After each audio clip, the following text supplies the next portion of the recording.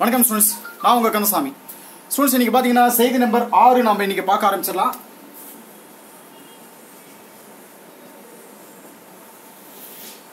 இங்கே நான் ஒட்டியிருக்கிற இந்த சார்ட் பார்த்தீங்க அப்படின்னா உங்களுக்கு லாஸ்ட் டைமில் வந்துட்டு இந்த வீடியோ முடியறதுக்கு பின்னாடி பார்த்தீங்கன்னா இதை நான் க்ளோஸ் அப்பில் உங்களுக்கு காட்ட போகிறேன் இன்னைக்கு செய்தி ஆறில் நம்ம சொல்லக்கூடிய தகவல் என்ன அப்படின்னு கேட்டிங்கன்னா விடுதலைக்கு பின்னாடி வந்து நம்ம இந்திய பொருளாதாரம் எப்படி இருந்தது அப்படிங்கிறத பற்றி நம்ம முழுக்க முழுக்க பார்க்க போகிறோம் கண்டிப்பாக இதிலிருந்து ஒன் ஆர் டூ கொஸ்டின்ஸ் நிச்சயம் வரும். இது கொஞ்சம் பெரிய டாப்பிக்காக உங்களுக்கு இருக்கும். Uh, ஐ மீன்ஸ் என்ன அப்படின்னா டென்த்து புக்கு நினைக்கிறேன். அந்த டென்த் புக்கு பின்னாடி வரக்கூடிய விடுதலைக்கு பின் வரக்கூ அதாவது விடுதலைக்கு பின் இந்திய பொருளாதாரம். இது சம்மந்தமாக தான் முழுக்க முழுக்க நம்ம பார்க்க போகிறோம் ஓகே இங்கே இருக்கக்கூடிய இந்த ஷார்ட்டில் வந்து பார்த்தீங்க அப்படின்னா கொஞ்சம் கொஞ்ச நேரத்தில் நான் உங்களுக்கு ஜூம் பண்ணி காட்டிடுறேன் பக்கத்தில். Uh, இப்போ இதை பற்றின அடிப்படையான சில தகவல்கள் பார்த்தீங்க அப்படின்னா இந்திய பொருளாதாரம் பார்த்தீங்கன்னா கிராம பொருளாதாரத்தை அடிப்படையாக கொண்டிருந்தது அப்படிங்கிறது உண்மையான ஒரு விஷயம். அது மட்டும் இல்லாமல் வேளாண்மை முக்கிய தொழிலாக இருந்துச்சு அப்படிங்கிறது தான் அதோட மட்டும் இல்லாமல் எழுபது சதவீத மக்கள் வந்து மட்டும் மக்கள் பார்த்தீங்க அப்படின்னா வேளாண்மை நம்பி தான் இருந்தாங்க. விவசாயத்தை நம்பி தான் இருந்தாங்க. அதாவது இந்தியாவுடைய அந்த முக்கிய தொழில் பார்த்தீங்க அப்படின்னா ஜவுளி தொழில் தான். சரிங்களா? இப்போ ஜவுளி தொழிலில் வந்துட்டு நம்ம இந்தியாவில் இருக்கிற ஒரு சில ஸ்பெஷல்ஸ் பார்த்தீங்க அப்படின்னா காலிக்கோ துணிகளுக்கு பார்த்தீங்க அப்படின்னா வங்காளதேசம். வங்காளம் தான் அது மேற்கு வங்கம்னு சொல்லக்கூடிய அந்த வங்காளம் தான். காலிக்கோ துணிகளுக்கு. பட்டு நெசவுக்கு பார்த்தீங்க அப்படின்னா பனாரஸ் பட்டுன்னு சொல்லுவாங்க. அதே கைத்தறியில் வந்து தமிழ்நாடு தான் அதில் ஃபேமஸ் சால்வை உற்பத்தியில் பார்த்தீங்கன்னா காஷ்மீர் தான் ஃபேமஸ் மரத்திலான பொருட்களுக்கு வந்து பார்த்தீங்கன்னா லூதியானா லூதியானா அப்படின்னு சொல்லக்கூடிய அந்த ஊர் தான் ரொம்ப ஃபேமஸ் மரத்திலான பொருட்களுக்கு லூதியானா. சரிங்களா? இப்போ நெக்ஸ்ட் இதில் பார்த்தீங்க அப்படின்னா நாட்டு விடுதலைக்கு பின்னாடி நேரு வந்து என்ன பண்ணார் அப்படின்னா கிராம பொருளாதாரத்தை வலுப்படுத்தணும்னு சொல்லிட்டு விரும்பினார். அதனால வேளாண்மையில் வந்து பார்த்தீங்கன்னா நீர்ப்பாசனம் மின் உற்பத்தி இந்த மாதிரி பல என்ன சொல்றது மின் உற்பத்தி திட்டங்கள்னு சொல்லிட்டு பல மு இந்த மாதிரி திட்டங்களுக்கெல்லாம் வந்து முன்னுரிமை கொடுத்தார். சரிங்களா? இப்போது வேகமான பொருளாதார வளர்ச்சி அடையிறதுக்கு நம்ம என்ன பண்ணணும் அப்படின்னா பொதுத்துறை தான் வந்து அவர் நம்பினார். அதாவது பொதுத்துறையும் தனியார் துறையும் சேர்ந்து கலப்பு பொருளாதாரத்தை நடைமுறைப்படுத்தலாம் அப்படின்னு சொல்லி தான் நேரு வந்து தீர்மானித்தார் தீர்மானிச்சார். நேரு தீர்மானிச்சது என்ன அப்படின்னா கலப்பு பொருளாதாரத்தை நேரு தீர்மானிச்சார். சரிங்களா? கலப்பு பொருளாதார விஷயத்தை நான் எழுதியிருக்கேன். அதாவது பொதுத்துறையும் தனியார் துறையும் சேர்ந்து சேர்ந்து செய்கிறது வந்து கலப்பு பொருளாதாரம் அப்படின்னு சொல்லிட்டு சொல்லுவாங்க அதே மாதிரி பார்த்தீங்கன்னா அதனால வேகமான பொருளாதார வளர்ச்சிக்கு ஐந்தாண்டு திட்டங்கள் ரொம்ப சிறந்தது அப்படின்ட்டு பரிந்துரை பண்ணார். வேகமான பொருளாதார வளர்ச்சிக்கு ஐந்தாண்டு திட்டங்கள் அப்படின்னு. இந்த ஐந்தாண்டு திட்டங்கள் கூட எங்கிருந்து வந்தது அப்படின்னு பார்த்தீங்கன்னா சோவியத் நாட்டில் இருந்து வாங்கினது தான் அங்கே பார்த்தீங்க அப்படின்னா ஏழாண்டு திட்டங்கள் வந்து நடைமுறையில் இருந்தது. சரிங்களா? இந்த ஐந்தாண்டு திட்டங்கள் நிறைவேற்ற இந்திய திட்டக்குழு அப்படின்ட்டு ஒன்று ஆரம்பித்தாங்க ஆயிரத்தி தொள்ளாயிரத்தி ஐம்பதில் வந்து பார்த்தீங்கன்னா இந்திய திட்டக்குழு ஒன்று அமைச்சாங்க. இந்த திட்டக்குழுடைய உறுப்பினர்கள் பார்த்தீங்க அப்படின்னா அதான் என்ன சொல்றது? பிரதமர் தான் அந்த திட்டக்குழுடைய தலைவர். அதே சமயத்தில் துணைத்தலைவர் பார்த்தீங்கன்னா முழு நேர அளவில் அதில் செயல்படுவார். அப்படின்னு தான் திட்டக்குழுடைய ஸ்பெஷல்ஸ் அப்படின்னு சொல்றது. இப்போ ஐந்தாண்டு திட்டங்களை வந்து அதாவது என்ன சொல்றது? செயல்படுத்துறதுக்கு வந்து மாநில அரசுகளுடைய அந்த ஒத்துழைப்பை பெறணும். அது ஒத்துழைப்பை வாங்கணும் அப்படிங்கிறதாக ஒவ்வொரு ஸ்டேட்டோட சிஎம்மும் அதனுடைய உறுப்பினர்களாக இது செஞ்சாங்க அதாவது உறுப்பினர்களாக இருந்தாங்க. இது வந்து பார்த்தீங்கன்னா நேஷனல் டெவலப்மெண்ட் கவுன்சில் அதாவது தேசிய வளர்ச்சி குழு அப்படின்னு சொல்லிட்டு ஒரு குழுவை வந்து அமைச்சாங்க. சரிங்களா? இதில் இருக்கக்கூடிய உறுப்பினர்கள் வந்து சிஎம் தான். ஒவ்வொரு ஸ்டேட்டோட சிஎம் தான் வந்து இதில் இருப்பாங்க. அதே மாதிரி இப்போ பார்த்தீங்கன்னா பதினோராவது ஐந்தாண்டு திட்டங்கிறது வந்து நமக்கு புக்கில் வந்து கொடுத்துருக்குற ஒரு இயர்ஸ் அதாவது பதினோராவது ஐந்தாண்டு திட்டத்தில் வந்துட்டு ரெண்டாயிரத்தி ஏழு ஏப்ரல் ரெண்டாயிரத்தி ஏழு வந்து தொடங்கினது அப்படின்னு சொல்லிட்டு ஒரு தகவல் சொல்லுவாங்க. இது வந்து பார்த்தீங்கன்னா ரெண்டாயிரத்தி ஏழு டு ரெண்டாயிரத்தி பன்னிரெண்டு வரைக்கும் பதினொன்றாவது ஐந்தாண்டு திட்டம் சொல்லுவாங்க. பன்னிரெண்டாவது ஐந்தாண்டு திட்டம் ரெண்டாயிரத்தி பன்னிரெண்டு டு ரெண்டாயிரத்தி பதினேழு வரைக்கும் சொல்லுவாங்க. சரி இப்போ பதினொன்றாவது ஐந்தாண்டு ஐந்தாண்டு திட்டத்துடைய முக்கிய நோக்கங்கள் என்னென்னு பார்த்தீங்கன்னா தண்ணி வசதி கிராமத்தில் இருக்க கிராமத்தில் வந்து பார்த்தீங்கன்னா மின்மயமாக்குறது அதே சமயத்தில் கிராமத்தோட அந்த சாலைகள் வந்து மேம்படுத்துறது. அப்படிங்களா இதெல்லாம் கவர்மெண்ட்டுக்கு முதலீட்டை அதிகரிக்கிறது. அது இதெல்லாம் மேம்படுத்துறதுனால கவர்மெண்ட்டுக்கு முதலீட்டை அதிகரிக்கிறது. அதே மாதிரி கரண்ட்டு அதாவது மின்சாரம் சொல்கிறது கரண்ட்டு உரங்களுக்கு தே அதாவது உரங்களுக்கான அந்த மானியத்தை வந்து குறைச்சார். சரிங்களா? இது வந்து பதினொன்றாம் ஐந்தாண்டு முக்கிய நோக்கங்களில் சொல்லப்படுது. அதே மாதிரி பார்த்தீங்கன்னா பதினொன்றாம் ஐந்தாண்டு வந்து வேளாண் ஆராய்ச்சியை வந்து ஊக்கப்படுத்தினார் ஊக்கப்படுத்துறது வந்து வேளாண் அதே சமயம் இல்லாமல் சுற்றுச்சூழல் பாதுகாப்பை வந்து உறுதி அதாவது உறுதி செய்யுது. சுற்றுச்சூழல் பாதுகாப்பை உறுதி செய்யுது. கிராமப்புறத்தில் இருக்கக்கூடிய அந்த கட்டமைப்பு வசதிகளை அதிகப்படுத்துது. இதெல்லாம் பதினொன்றாம் ஐந்தாண்டு வறுமை வறுமையை ஒழிக்கிறது. அதே மாதிரி பார்த்தீங்கன்னா தொடக்க கல்வியில் வந்துட்டு பாதியில் நிற்கிற நிக் அதாவது பாதியில் நிற்கிறவங்களோட எண்ணிக்கை குறைக்கிறது. இது எல்லாமே வந்துட்டு பதினொன்றாவது ஐந்தாண்டு முக்கிய நோக்கங்களாக இருந்துச்சு. சரி இப்போது வேளாண் வளர்ச்சி அது மட்டும் இல்லாமல் அந்த தொழில் வளர்ச்சி வந்து தான் நம்ம நாட்டு பொருளாதாரத்தோட முக்கிய காரணிகளாக அமைஞ்சது. சரிங்களா? அதை பற்றி இப்போ நம்ம பார்க்கலாம். இப்போ வேளாண் துறை அப்படின்னு சொல்லிட்டு நம்ம எடுத்துட்டோம் அப்படின்னா இதில் வந்துட்டு வேளாண் துறையில் வந்துட்டு நாட்டு பொருளாதாரத்துறை முதுகெலும்பே வேளாண் துறை தான் இப்போ நான் இதை வந்து உங்களுக்கு நான் ஜூம் பண்ணிடுறேன். ஜூம் பண்ணிட்டு இதில் வந்து கொஞ்சம் எக்ஸ்பிளைன் பண்ணிடுறேன் உங்களுக்கு.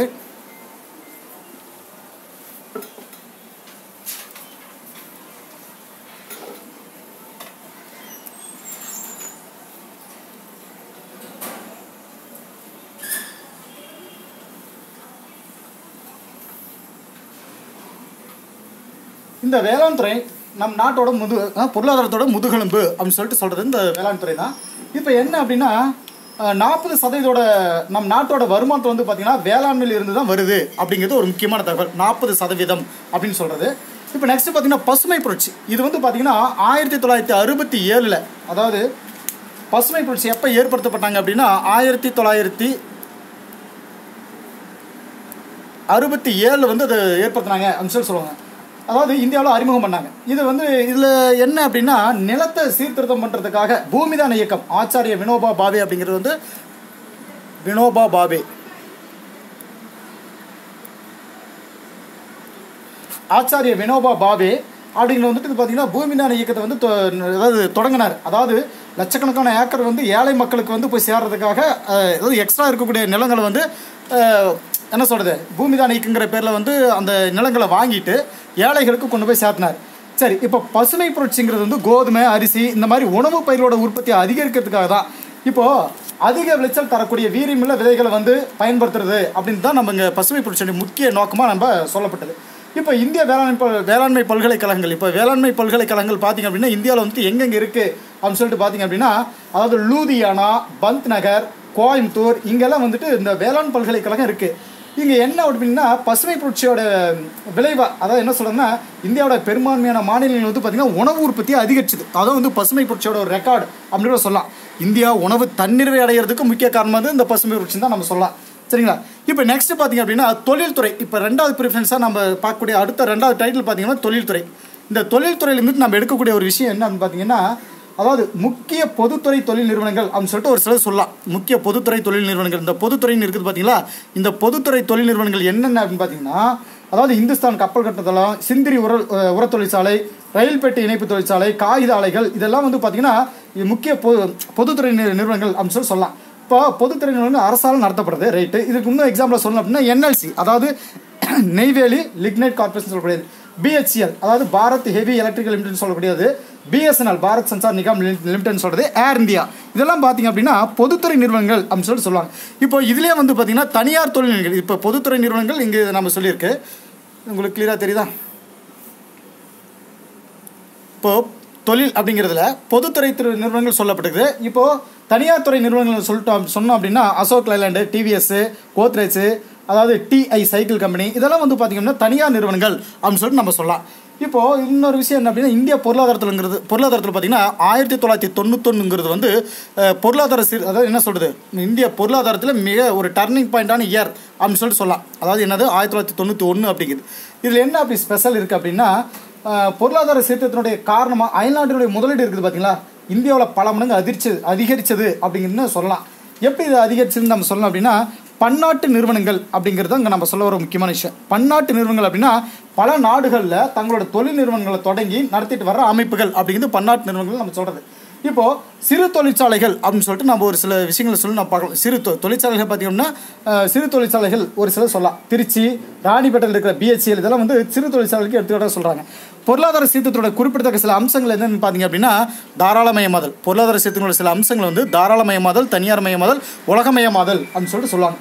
இப்போ இந்த தாராளமயமாதல் அப்படின்னா இதில் என்ன இருக்குது அப்படின்னா இந்த தனியார் துறை தொழில் நிறுவனங்களுக்கான அந்த விதிமுறைகள் இருக்குது பார்த்தீங்களா அதாவது தனியார் துறை தொழில் நிறுவனங்களுக்கான விதிமுறையையும் கட்டுப்படுத்த அதாவது அதுக்கு என்ன சொல்லியிருப்பாங்கன்னா தனியாரில் ஒரு தொழில் நம்ம பண்ணுறாங்க அப்படின்னா தனியார் மையத்தில் இருக்கக்கூடிய ஒரு ப்ரைவேட் கம்பெனிக்கு ஏகப்பட்ட ரூல்ஸ் அண்ட் ரெகுலேஷன்ஸ் போட்டிருப்பாங்க. அந்த ரூல்ஸ் ரிலாக்ஸேஷன் பண்ணுறது தான் அது மறுபடியும் திரும்ப வாங்குறது அப்படிங்கிறத தாராளமயமாதல் அப்படின்னு சொல்லி சொல்லுவாங்க இதோட முக்கிய நோக்கமே பார்த்தீங்கன்னா பொதுத்துறை நிறுவனங்கள் அதாவது இதோட முக்கிய நோக்கமே பொதுத்துறை நிறுவனங்கள் மட்டுமே. அதான் என்ன சொல்கிறோம் அப்படின்னா பொதுத்துறைக்கு மட்டும் ஒதுக்கப்பட்ட தொழில்கள் இருக்குது பார்த்தீங்களா அதாவது இந்த தொழில்கள் இருக்கக்கூடியதில் பொதுத்துறைக்கு மட்டும் ஒதுக்கப்பட்ட தொ தொழில்களை வந்து கொஞ்சம் ரிலாக்ஸேஷன் பண்ணி தனியார் துறைக்கும் செயல்படுறதுக்கு அனுமதி வழங்கப்பட்டது தான் இந்த தனியார் மயமாதல் அப்படின்னு சொல்லுவாங்க. தாராளமயமாதல் அப்படின்னா ஒரு பிரைவேட் கம்பெனிக்கு கொடுக்கப்பட்ட அந்த ரூல்ஸ் அண்ட் ரெகுலேஷன்ஸ் எல்லாம் ரிலாக்ஸேஷன் பண்ணுறது தனியார் மயமாதல் அப்படிங்கிறது வந்து பார்த்திங்கன்னா பொதுத்துறைக்குன்ட்டு ஒரு சில தொழில்கள் இருந்தது. அந்த தொழில்கள் எல்லாம் தனியாருக்கும் கொடுக்கப்பட்டது. இதுதான் அதுக்கு இதுக்கு இருக்கிற வித்தியாசமே. இப்போ உலகமயமாதல் அப்படின்னு சொல்லிட்டு நம்ம சொல்கிறோம்னு வச்சுக்கோங்களேன் ஒரு நாட்டோட அங்காடியை பன்னாட்டு அங்காடியோட அதாவது பல நாடுகளுடைய அந்த ஃபாரின் கண்ட்ரிஸ் எல்லாம் இருக்குது பார்த்தீங்களா அதோட சேர்ந்து தொடர்பு படுத்துறது தான் இந்த உலகமயமாதல் அப்படின்னு சொல்லிட்டு சொல்லுவாங்க. சரிங்களா? இப்போ அறிவியல் தொழில்நுட்பம் அப்படின்னு சொல்லிட்டு நம்ம அடுத்ததாக ஒரு டைட்டில் நம்ம பார்க்க போகிறோம் இந்த அறிவியல் தொழில்நுட்பத்தில் நம்ம சொல்லக்கூடிய த இருக்க படிக்கக்கூடிய ஒரு விஷயங்கள் என்னென்ன அப்படின்னு சொல்லிட்டு பார்த்தீங்கன்னா இது கொஞ்சம் அப்படியே ஜூம் பண்ணி கீழே இறக்கிக்கிறேன். அறிவியல் தொழில்நுட்பம் அப்படின்னு சொல்லிட்டு. அதாவது அணுசக்தி விண்வெளி ஆராய்ச்சி அதாவது சந்திர வானவியல் அப்புறம் விண் இயற்பியல் பேராள ஆய்வு பேராளிகள் உயிரி தொழில்நுட்பம் இது இப்படி நிறைய சொல்லலாம். அதாவது அறிவியல் தொழில்நுட்பம் வந்து நம்ம விடுதலைக்கு முன்னாடி இந்தியாவில் எப்படி டெவலப் ஆச்சு அப்படின்னு சொல்லிட்டு. அதே மாதிரி பார்த்திங்கன்னா அணுசக்தி திட்டங்கள் வந்து நம்ம இதில் நிறைய பண்ணியிருக்கு. இந்த அணுசக்தி திட்டங்கள். அப்படி என்ன அணுசக்தி திட்டங்கள் இருக்குது அப்படின்னா அணுசக்தி தொழில்நுட்பங்கள் வந்து மின் உற்பத்தி வேளாண்மை மருத்துவம் தொழில்துறை இந்த மாதிரியான அமைதி வேலைகளுக்கு தான் வந்துட்டு யூஸ் பண்ணுறதா முக்கிய கொள்கையாக வச்சுருந்தாங்க இந்த அணுசக்தி. இப்போ என்ன அப்படின்னா தற்போது இன்னைக்கு பார்த்தீங்க அப்படின்னா இந்தியாவில் வந்துட்டு பார்த்தீங்கன்னா ஏழு அணுமின் நிலையங்கள் இருக்குது செயல்பட்டு வருது அப்படின்னு தான் நம்ம சொல்கிறது ஆக்சுவலி பார்த்தீங்கன்னா ஆயிரத்தி தொள்ளாயிரத்தி ஐம்பத்தாறில் வந்து ட்ராம்பேல தான் வந்துட்டு முத முதல்ல அணுசக்தி நிலையம் தொடங்கினாங்க அப்படின்னு தான் சொல்ல ஒரு விஷயம். விண்வெளி ஆராய்ச்சியில் பார்த்தீங்க அப்படின்னா விண்வெளிங்கிறது செயற்கைக்கோளை செலுத்துகிற ஆறு நாடுகளில் இந்தியாவும் ஒரு நாடு அப்படிங்கிறது நம்ம பெருமையாக வச்சுக்கலாம். இந்தியாவில் முத முதல்ல பார்த்தீங்க அப்படின்னா ஆயிரத்தி தொள்ளாயிரத்தி எழுபத்தஞ்சில் ஆரியப்பட்டா அப்படிங்கிற விண் செயற்கைக்கோளை வந்து விண்ணில் செலுத்துனாங்க. அடுத்த ஒரு ரெக்கார்டு என்னன்னு பார்த்தீங்கன்னா ரெண்டாயிரத்தி எட்டில் சந்திராயன் ஒன்று அப்படிங்கிறது நிலாவுக்காக நிலாவுக்கு விண்கலத்தை செலுத்தினாங்க அப்படிங்கிறது வந்து நம்ம இந்தியாவுடைய அறிவியல் தொழில்நுட்பத்தில் சொல்கிறது உயிரி தொழில்நுட்பவியல் அப்படின்னு சொல்லிட்டு இன்னொரு டைட்டில்ஸ் வந்து நமக்கு இதில் சப்டைட்டில் நம்ம இன்னொன்று படிப்போம். அந்த உயிரி தொழில்நுட்பவியல் துறையில் என்ன அப்படின்னா காலராவிற்கான அந்த வாய்வழி தடுப்பு மருந்து வந்து இதில் குறிப்பிடத்தக்க ஒரு முன்னேற்றம் அடைஞ்சிருக்கு அப்படிங்கிறத நம்ம சொல்லலாம். அதாவது உயிரி தொழில்நுட்பவியல்னு சொல்கிறது தொலைத்தொடர்பு வசதிகளை கொடுக்கல. இந்தியா உலக நாடுகளில் பத்தாவது இடத்துல இருக்குது அப்படின்னு நம்ம சொல்லலாம். சரிங்களா? இப்போ இதிலே வந்து தகவல் தொழில்நுட்பம் அப்படின்னு சொல்லிட்டு நம்ம ஒன்று படிக்கலாம். இந்த டைட்டில்ஸில் பார்த்தீங்க அப்படின்னா தகவல் தொழில்நுட்பம் அப்படிங்கிறது ஒன்று நம்ம தனியாக படிக்கலாம். அந்த தகவல் தொழில்நுட்பத்தில் சும்மா ஒரு சில ஒரு சில பாயிண்ட்ஸ் கூட தான் இருக்குது இந்தியாவில் வந்து பார்த்தீங்கன்னா பெங்களூரு ஹைதராபாத் சென்னை இதெல்லாம் பார்த்தீங்கன்னா முக்கிய தகவல் தொழில்நுட்ப மையங்கள்னு சொல்லலாம்.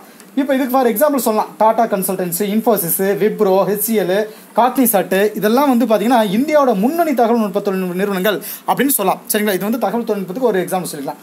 இந்தியாவில் கல்வி வளர்ச்சி பார்த்தீங்க அப்படின்னா அதாவது சொல்லிக்கிற அளவுக்கு ஒரு பெரிய அளவுக்கு சொல்லலாம். என்ன அப்படின்னா ரெண்டாயிரத்தி பதினொன்றாம் ஆண்டு மக்கள் தொகை கணக்கெடுப்பு படி பார்த்தீங்க அப்படின்னா அதாவது எழுபத்தி நாலு புள்ளி இது ஏற்கனவே நான் சொல்லியிருக்கேன். கல்வி சம்மந்தப்பட்ட தகவல் வந்து நான் ஏற்கனவே ஒரு வீடியோவில் இதுக்கு முன்னாடி இந்த ஒரு சில வீடியோவில் சொல்லியிருக்கேன்.